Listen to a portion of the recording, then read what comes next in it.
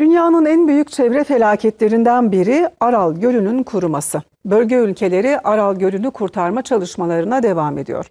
Kazakistan'da 2025 yılına kadar Aral Gölü çevresindeki 1 milyon hektarlık alana aylarca su almasa bile kurumayan saksaul ağacı dikmeyi planlıyor.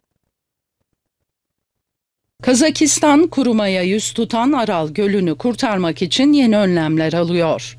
Kazakistan Ekoloji ve Doğal Kaynaklar Bakanlığı Aral Gölü'nde orman oluşturmak için 753 bin hektarlık alanda toprak araştırmalarının yapıldığını açıkladı. Araştırmalar kapsamında saksual ağacının dikilmesi için orman ıslah çalışmaları yapıldı.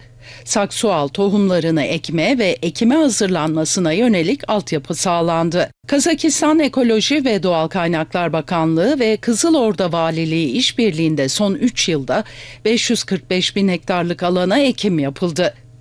Bu yılda 200 bin hektardan fazla alana saksual ağacının dikilmesi planlanıyor.